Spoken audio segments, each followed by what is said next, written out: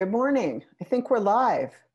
I think, as Antonia said, this the Facebook gods are smiling on us today. Woo! I'm Meg Riley. You've joined us for another episode of The VUU. I'm excited today that we will be welcoming Paula Cole Jones, who is a mentor and friend and teacher to many of us. And we're excited about that conversation. But first, I'll just say it was 85 Monday and it's 45 today, and that is October in Minnesota. Aisha Hauser, how are you? Hi, I'm Aisha Hauser. I'm in Seattle, Washington, and it's cold for Seattle. Like it's the 50s, so people have scarves on and uh, they're getting ready for winter. Um, so no, it hasn't been in uh, sunny. I mean, it's been sunny, but not not warm. I'm going to actually be on the East Coast next week. I, will miss the VUU. I'll be in New York City and I'll be preaching at Fourth Universalist, which I'm excited about. Uh, where I hear uh, you will let me know, Michael, if it is still in the 80s and 90s. So I need to know what to pack. So you'll let me know, I suppose. Good morning, everyone. This is Michael Tino uh, joining you from Mount Kisco, New York, where fall has arrived. Um, it was 90 yesterday and it's 50 today. So uh, we, we had the 40 degree temperature drop, but um, as well. And I'm so glad it's finally fall. And I will be, as you come to my city, Aisha, I will be in the Adirondack Mountains soaking in fall. So you will be training my UUMA and Laredo chapter while I am on vacation. And I'm very upset that I, I'm going to miss you. I'm so sad. I'm not going to get to you. hug you. Yeah. And Antonia, you are in in Delaware today. How are you? I am back in Wilmington, Delaware. I got back at about 5:30 this morning. Um, because I woke up at three something, so I said I might as well start driving now. Um, I am doing well. It was 80 something degrees here yesterday, and the high is 67 and the low is 63. So 60. I know you're coming, Aisha, and I'm not going to be there. Oh, it's kind of sad, but aren't you going to be there um, when the VUU is on? I'm going to be, yeah, I'm not going to be on the VUU. I'm going to be in, in New York City doing the workshop. I know. I'm going to be here. And I would say maybe Margalie can be here, but I think she's also in that chapter. So. Well, shoot, uh, Christina Rivera is at a doctor's appointment unexpectedly this morning. She's fine. She promises she'll be here next year. She says she's not ghosting us next week. Did I say next year? I meant next week. and I also will be out of commission next week. So we better get some folks to be here because we have a good guest coming. I will be with the retired ministers next week, also out east in Connecticut, who are exploring 50 years since Stonewall, and I'm one of the speakers about what's been going on with UUs about GLBT issues. So shoot, Christina, Christina better be back, but we'll we'll have a good show next week. I'm excited about it. But meanwhile, anything going on in UU land that before we get to Paula that anyone wants to um, highlight this week? I got nothing. It's been a quiet week. Yeah, although I mean, I need to just name a little bit of national politics. I've been I returned to NPR after over 2 years hiatus cuz I can't but now I'm like, "Oh, there's something great to listen to." Which has nothing to do with UU, land. I just wanted to throw that in. Yeah, there it is it is interesting to um to watch temper tantrums happen and to um to look at some people coming along who actually are talking about meaningful policy. We can only hope and work hard for that election. Well, speaking of national politics, Paula Cole Jones has been in Washington, D.C. all this time. Paula's a lifelong member of All Souls Church Unitarian. She has years of experience as a management consultant and um, much with the government and also much decades really with Unitarian Universalism. I'm trying to remember when I first met you, Paula, but I'm thinking it was about 1992 or something. I mean, you've just been at this work so long, always insisting that racial justice be connected to all other social justice endeavors and issues. And Paula is a contributing author to Justice on Earth and the editor of Encounters Poems About Race, Ethnicity, and Identity from Skinner House. She also, and we will be talking about this, is the co author along with Bruce Pollock Johnson of The Eighth Principle, an institutional call to build the beloved community. Right now, Paula serves as interim congregational life staff for CERG, the Central East region of the UUA. But Paula, you've had so many hats on over the years, but all of them have involved working with congregations and regions and clusters around issues of racial justice. And I'm really curious, how, how long would you say you've done it? And what have you observed over these years watching UU congregations and working with us? Yeah, Meg, let me pause one second. I got a late checkout and housekeeping is at the door, so let me see if I can put them off for until the end of our program. I'll be right back. Sorry, bad timing there. that, that was anticlimactic. yeah, Let's just start by Michael and Aisha. Say when you met Paula first. I'm curious.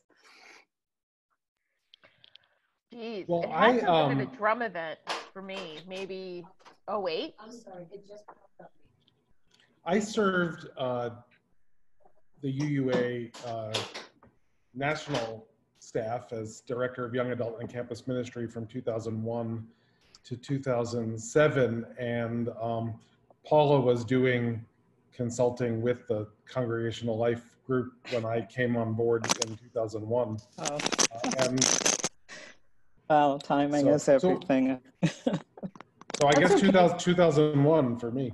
That's great. We were just sharing when when Aisha and Michael met you. Antonia, have you just met Paula now, or have you met Paula earlier? I met Paula doing this, and I am so excited to have met her. We've had some great conversations. yeah. I look forward wonderful. to continuing to have them.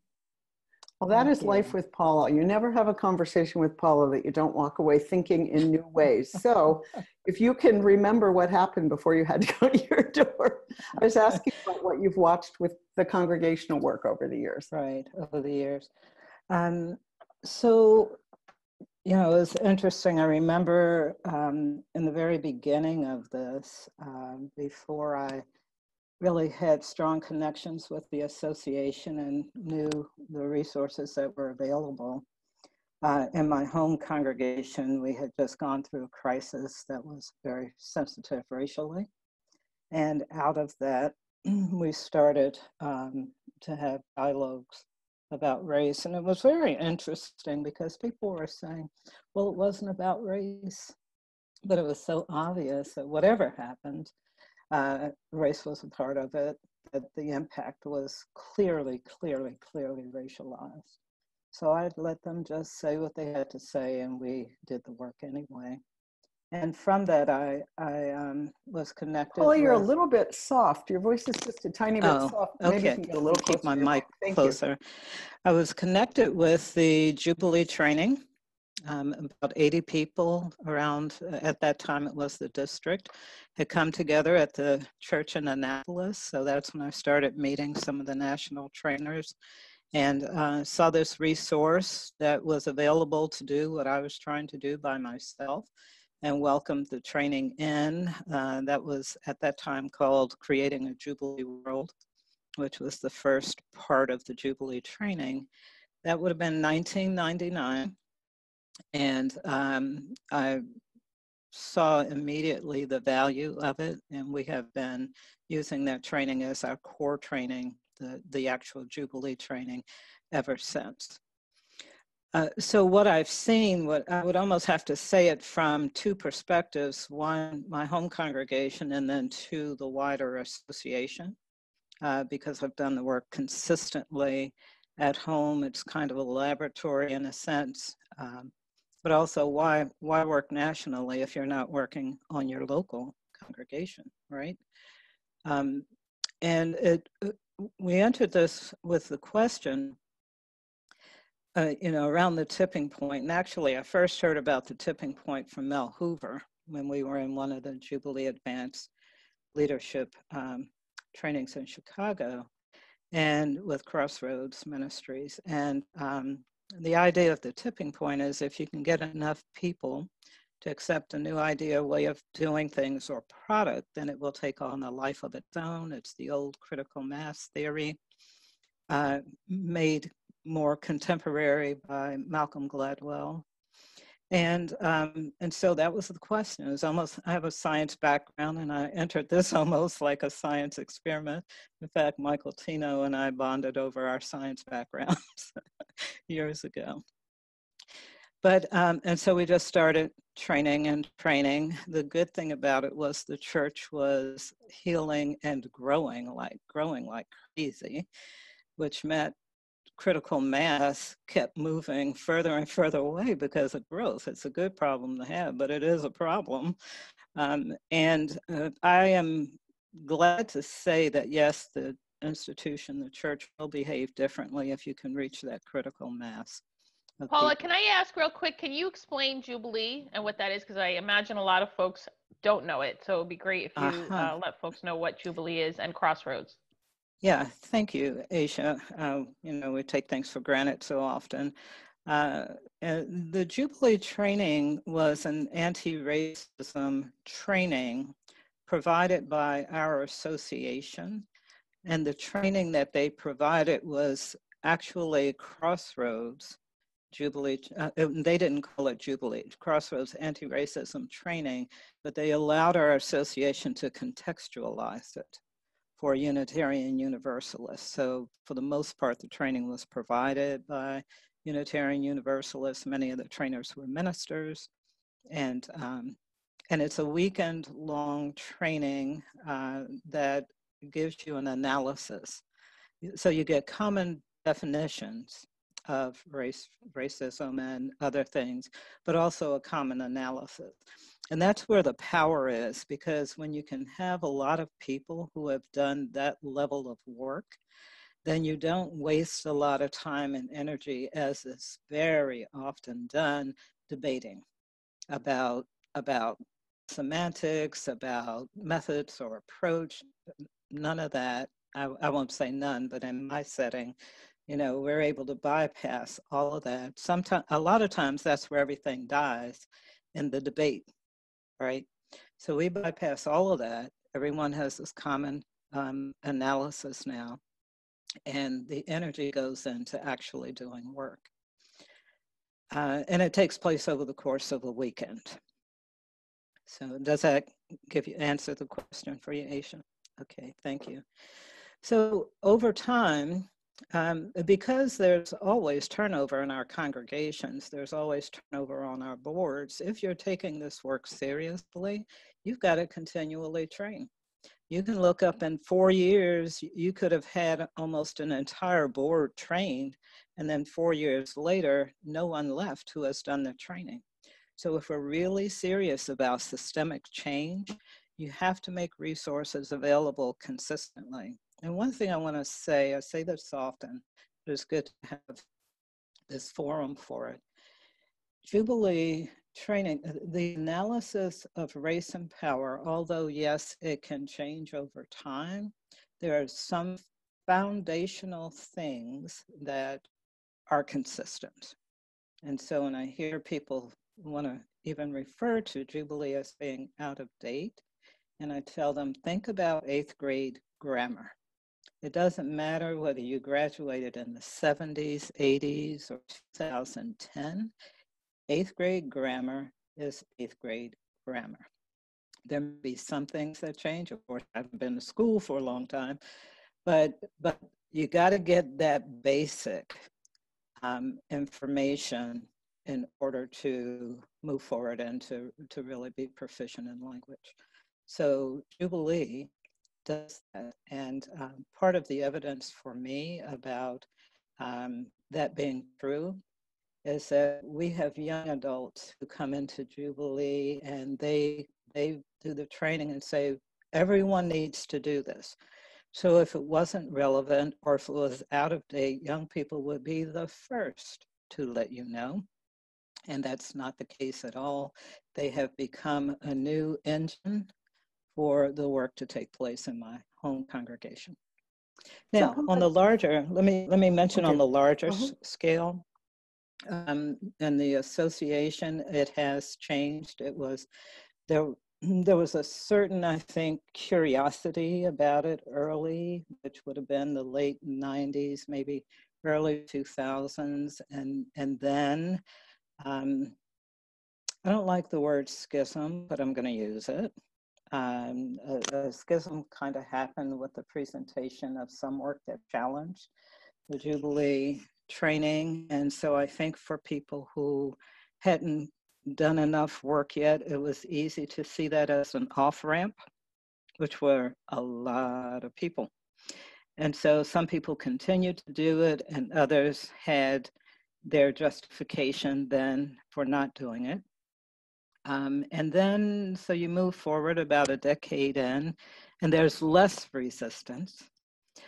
And I think what, part of what we have seen is so every time you move forward with a new initiative, at least as it relates to race, you're going to experience a certain amount of resistance. That's part of the change process.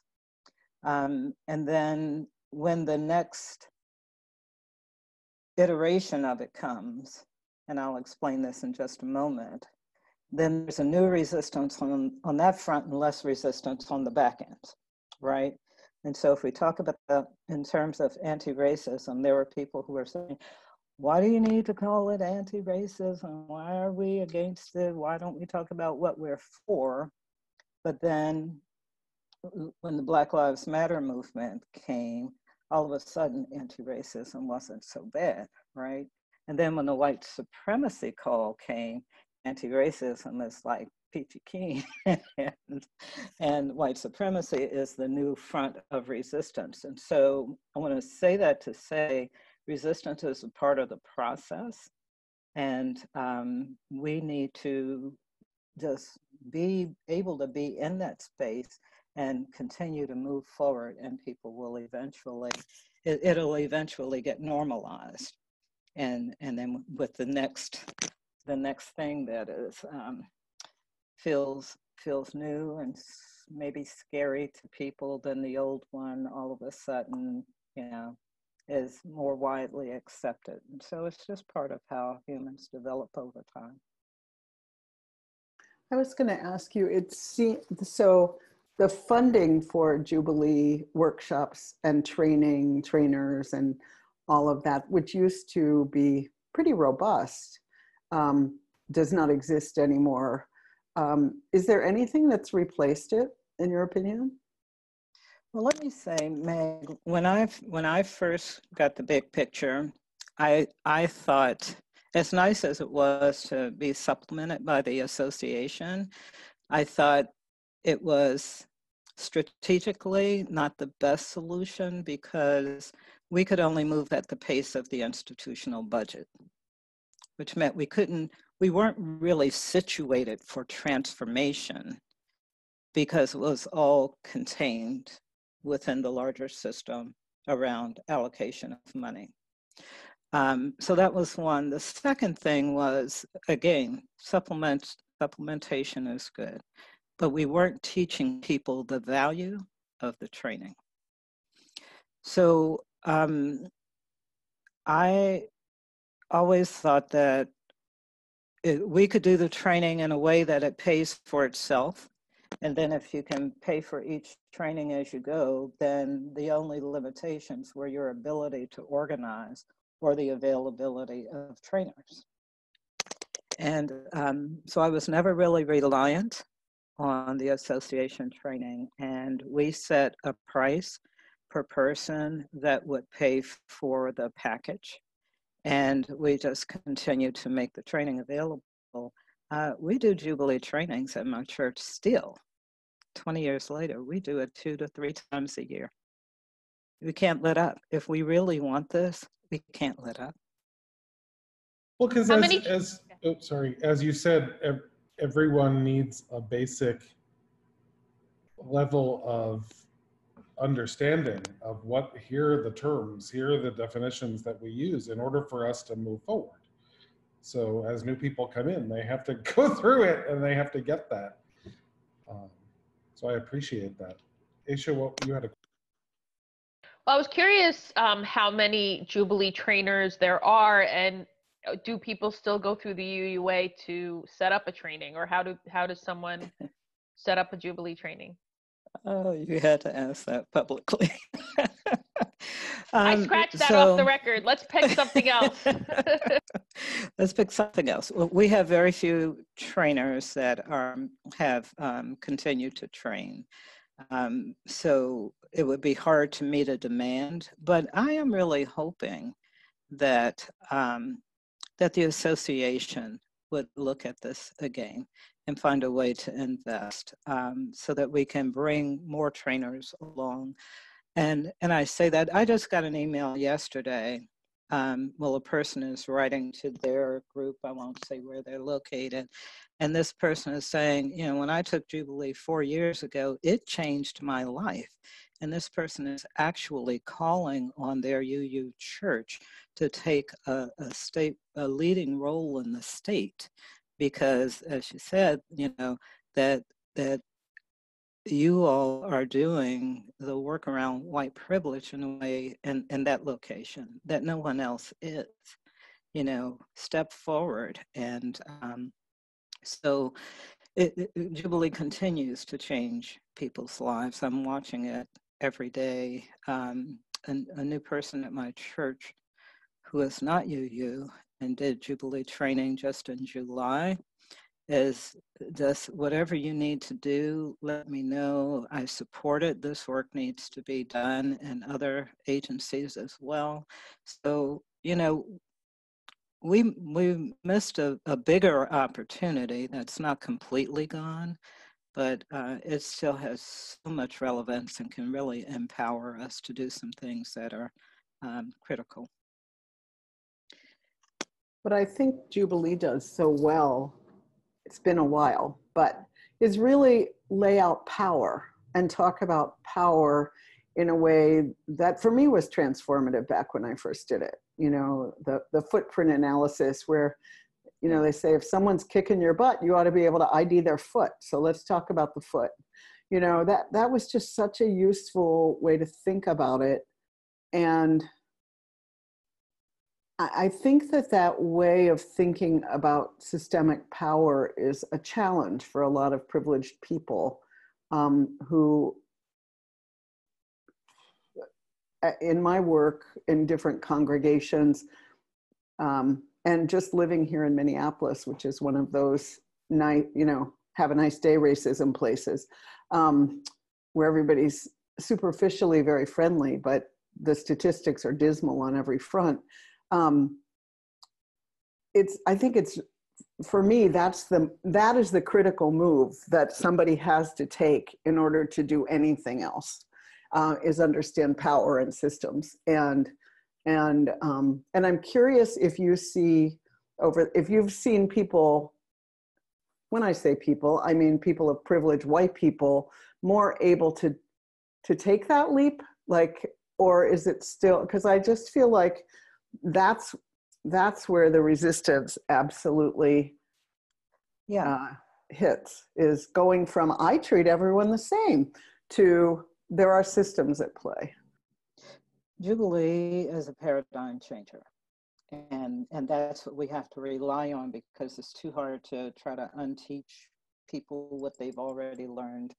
Um, and I think one of the, I know from my own experience, and I think for many others, Jubilee authorized us to look at our institution. So it shifted this um, general sense of racism as being an individual thing, you know, how a person thinks and behaves, to really looking at uh, institutional structures and practices. But the power in it is that it authorizes us to do it. And one of the things that I've always thought was healthy about our association, Unitarian Universalist Association, as imperfect as we are, as imperfect as we do the work, as impatient as we are with ourselves around the rate of change, we have authorized self examination. and I think many institutions, either out of need or preference, um, are not open to self-examination, and and instead problems. Yeah, I can remember when I was employed in the nine to five world. Part of your job is to make sure that problems don't surface, right? Those of you who have worked it. So part of your job, you know, is I guess it's to be beyond criticism, the institution to be beyond criticism, which means a lot of things don't get addressed.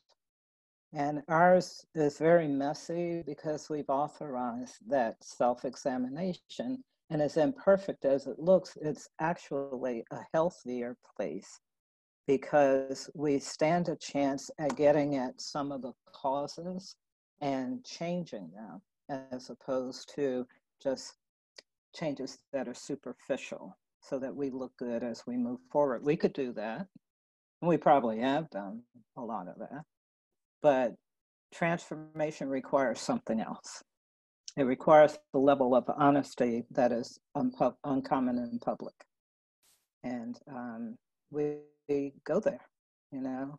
Uh, if we couldn't do that level of honesty, it would be very hard to recreate the, the culture that would be inclusive of all of us. And we're still working at it. Um, so I'm trying to, so I, I want to name, or I guess get your opinion on I don't think there's consensus on what to do with folks who are looking for the off ramp. My thing is ignore them. Like you can, there's the exit. If you don't want to do this, you are not mandated. And yet there's sometimes um, folks who said, oh no, but it's important to counter. I mean, of course it's important to counter misinformation. And yet I don't know, like you said, battling semantics, you know, battle of the semantics, how helpful that is and I do want to name the schism you talked about. Um, someone called that after Jubilee was starting to get traction about, I think, 20 years ago. You said um, it was actually a person of color who was very publicly against it and took the, the movement back about tw- uh, another 20 years. You know, held it up, and so that was probably one of the most heartbreaking things that I learned that it was it was a black person who who very publicly said, "Oh, this is going to fail. It's terrible," and so I mean, you don't have to comment on that, but I'm I'm the way I've been because I've had the white supremacy teaching. I've had definitely black and brown folks not be happy with me and say, you know, what are you doing? And you're upsetting white people. And you're, I mean, well, one person did say that. Um, yeah, I mean, and I say, I don't know what to tell you. Like, I, this isn't about anyone's feelings. So I, I, I hope that made yeah. sense. I guess my curiosity is, um, where do you focus your energy or how what do you do you have any energy to give to folks going on the off ramp? Yeah so the tipping point is my strategy. I also come i'm married to a person who has done a lot of organizational development and built organizations. And um, the National Association of Black Scuba Divers, we have a Black Dive Club in Washington, D.C. And um, so I married into it, whether I wanted it or not, I was a part of it. But it was interesting because as we were building the National Association, uh, we would coach people in different states around how to develop their club. And uh, uh one of the things my husband used to always say is um, you only need about five people to get it started. And, um, and so our philosophy is really do it for those who will. And, and in building the tipping point, so the good news about the tipping point is you don't need everybody to make this work. There's the off ramp, right? You don't need the majority of the people to make it work. This is really good news if you ask me. And so it's it's not the best use of your time to try to get there. And I've been in many sessions where people come kind of like almost crying. It's like, well, how do we get everyone? I say, you don't need everyone.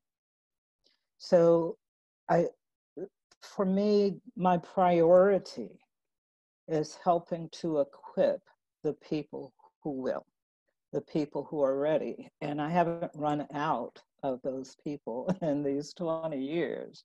So the more people who share the work, the analysis, and, and are in solidarity with each other and in community, what you end up doing is creating a new norm. And I liken it to an ecosystem. In an ecosystem, when one part of it changes, the whole system changes in relationship to it. So as we build those who will, the rest of the system will change. And I've, we've actually watched that as an association, if you can identify it. We've watched it happen over time. You know, I've watched it definitely in my home congregation. Um, so this is the way that my church identifies and behaves. Um, we worked up to adopting the eighth principle in uh, December 2017. And, you know, there were all kinds of people lined up ready to speak in favor of it because we had been doing the work. Another thing that people need to think about there are people who come to the church because this work is being done, who join the church. I just had someone last Sunday, I preached at All Souls, and um, a new a person sat next to me and, and told me at the lunch hour and told me, you know, I'm not a member. I've been kind of coming once in a while, off and on, but after today, I'm ready to join. This is what I want to do. And, and we hear a lot of that. So there's some people who are looking for a place that resonates with their values, their passion, their sense of what's just and unjust in the world. And if we're doing that work, they will find us. Um, and and so let's let's talk about the off ramp because there's another uh, approach to the off ramp. I've been talking about building a community of communities. That's a community within the church. It's always been there. We can expect it. For some people, just the change is not something that they want to engage in or that they're comfortable with, or however you want to frame it. I want to honor that that's a choice. For some people, you can't do it fast enough. That's a choice. And there, there are just so many different interests and needs inside of our church. So if we create a community of communities, then there's a space for people who don't want to engage in that conversation. And we all still belong to the same community. It's in some ways, it's like theological uh, the- theological pluralism. You know, people are in different places, everything from liberal Christians to atheists and lots in between. And in a UU church, there should be space, right, for all of those variations. Well, I think we can look at this parallel to that. There are variations in people's um, orientation towards issues of race. Now, of course, we would love it if everyone would just embrace it. But some people, their their socialization is very baked in and too hard to change. well, I'm, I'm wondering, is part of the strategy explicit or implicit to say if you are choosing that off ramp, here's your group, and it's not going to be in the center. Exactly. so you you need That's to understand that you are choosing to marginalize like where you are. Uh, it, or it's no more that it's viewpoint no is not going to be centered. Exactly, it's no more important than, than any other group. And and here's the thing: our institution has to evolve with society. Unitarian Universalists have probably always done that. Maybe all institutions do it. I don't know. But we have to evolve with society. And for people who are not ready to go there, they should not be able to stop the institution from evolving. That is really, it's an ethical issue. It's not the ethical issue of whether we talk about race or not, whether we call something white supremacy or not. The ethical issue is whether or not we are evolving as an institution whether or not we are able to let go of the old, outdated historical, social, and cultural structures that are in place, and whether or not we are really able to embrace our, our full humanity and see other people as our community, as our people. And um, so that's the ethical issue. You know, inclusion or exclusion. That's the ethical issue. And when we center that, so let, so let me talk about the next piece. And that is, is all contained in this conversation. Churches have been looked upon as a family ever since I can think of, probably forever. And we're so comfortable with the metaphor of family and the language of family and church. It, it supports the kind of centering, Michael, that you're talking about, of the something that really should not be the center of a church that's evolving. And um, families are, are hierarchical structures. They just are. They're not inclusive. Families are closed systems. I think that's why Sunday morning is the most segregated hour, as it is said, because churches use a family metaphor, and that family boundary is pretty darn clear, right? Unspoken, but clear. Everyone knew when you were growing up, you knew what the rules were. You knew who had the authority. You knew who you could bring home and who you couldn't.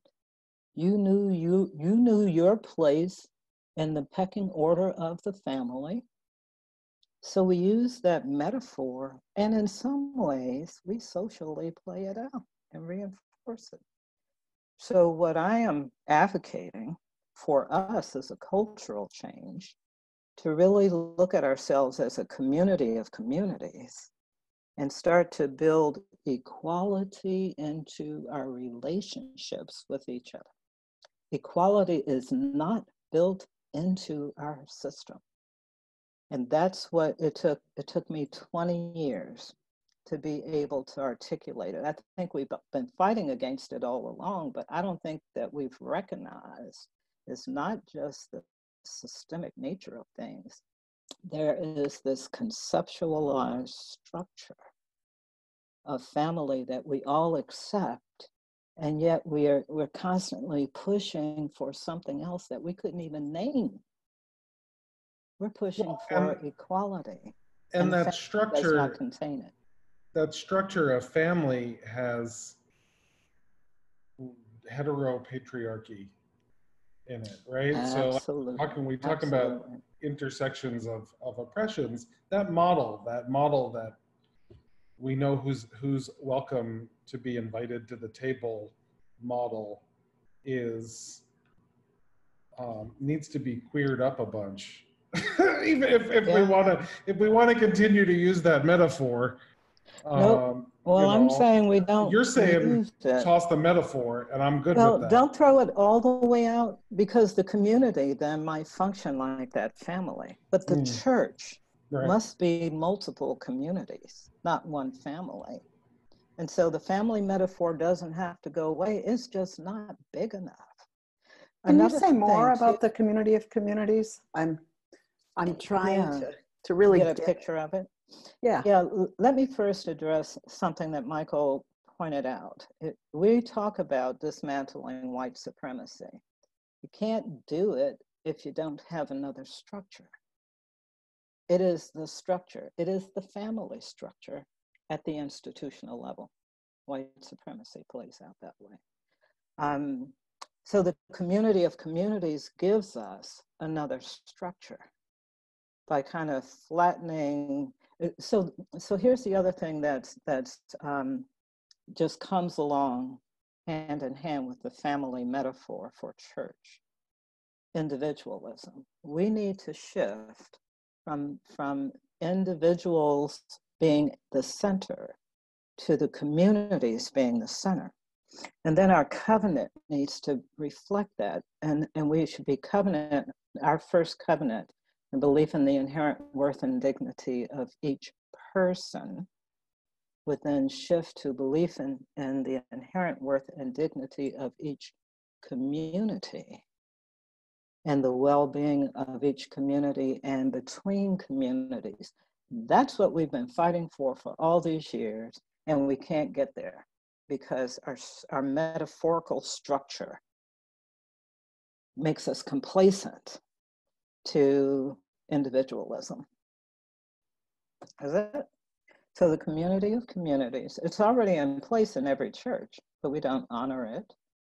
We have committees. We all, every church, almost every church has a religious education community, a music community. You've got the community of people who assemble on Sunday.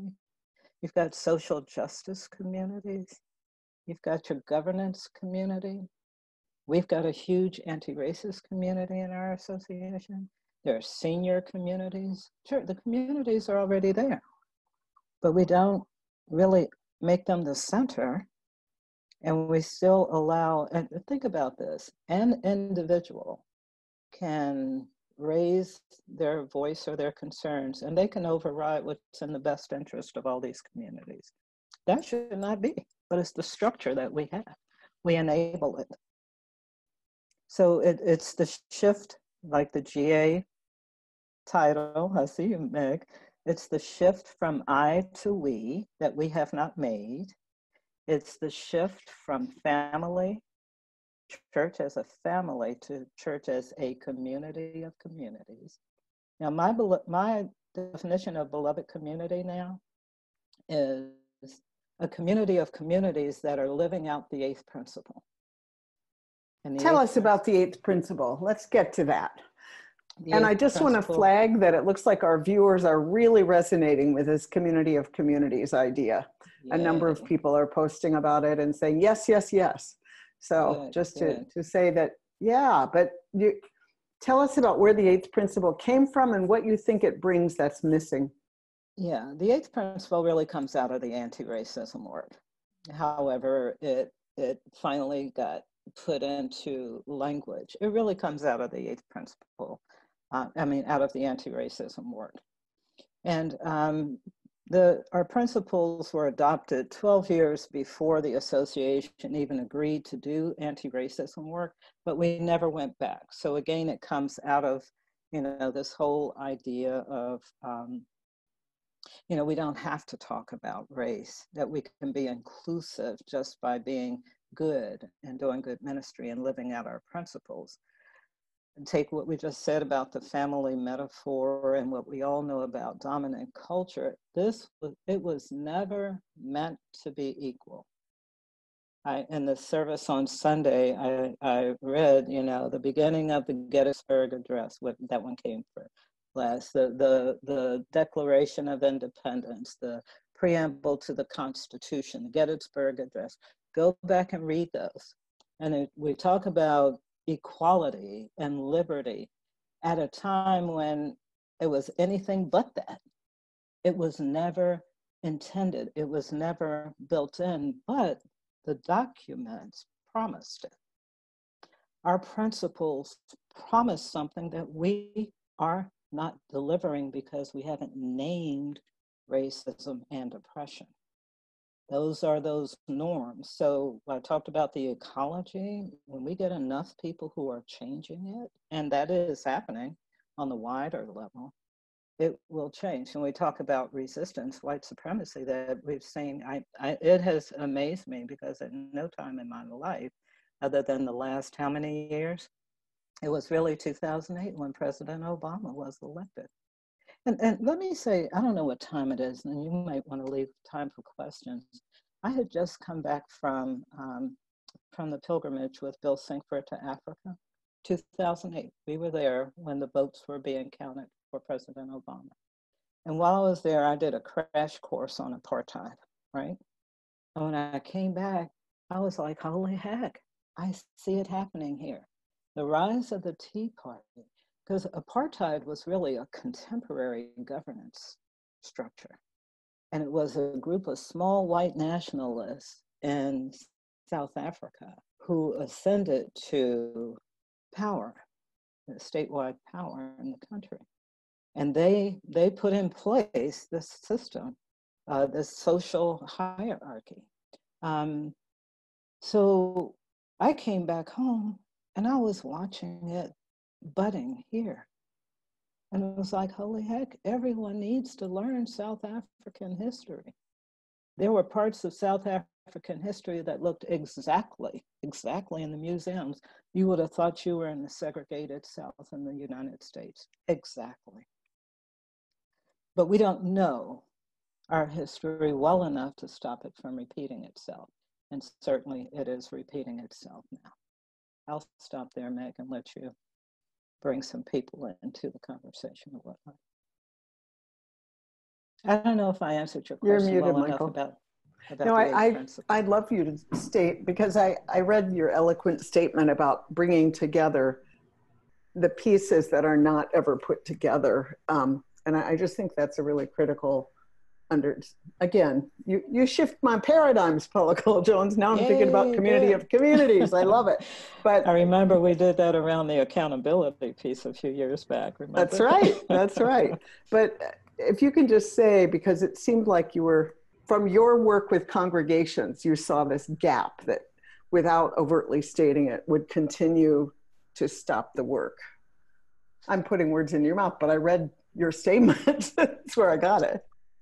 Well, um, you know, if you stay at the work long enough and if you're true to it, you will see things in time. And the, the benefit of being able to work in a lot of different parts of the institution. So you can see the same resistances. And, and you know, it's, it's, I mean, people are not bad because they resist. They're just saying, I'm not ready to buy into that, right?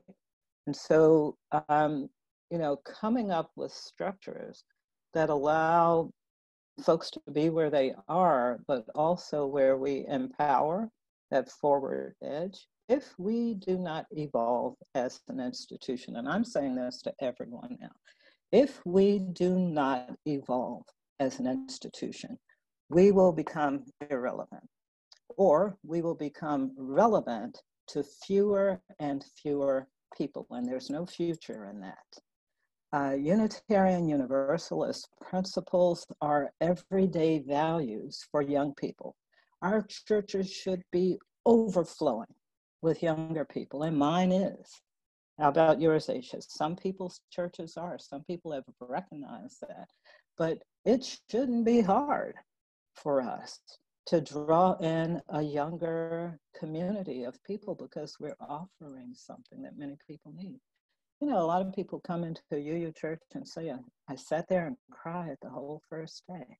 Men and women, black and white, have told me that. I didn't know places like this existed. So we have a promise that we have not been making available to many, many people. And part of it is getting a culture of inclusion and moving this individualism out of the center and really nurturing the communities in our churches.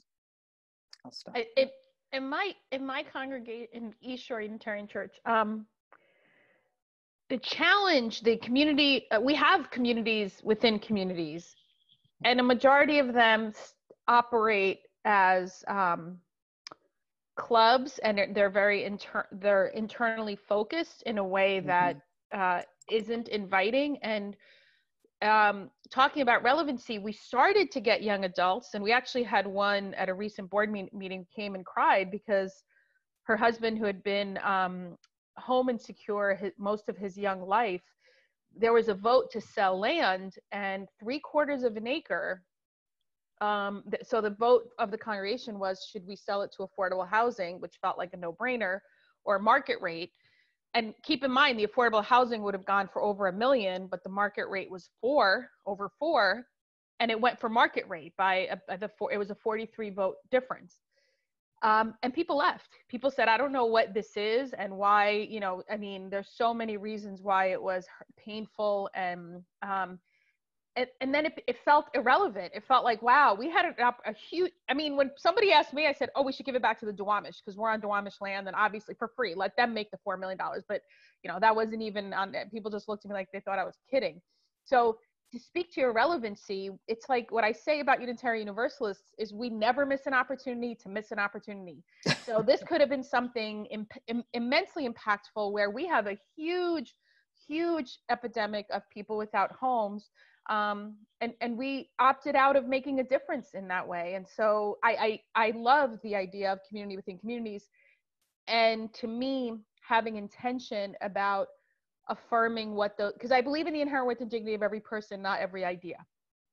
And so I think being mindful about what those communities are and that what still binds the thread that binds all those communities in community is Unitarian Universalism and as you said, right. the affirmation of the eighth principle. Yeah, and, and, and one of the things that makes a community of communities different than what we have now is that um, each of those communities would have a representative as you approach a specific issue, and they would represent the community in a conversation about the, the whole community. What's, what's in our common, what's the common good here? The common good, right?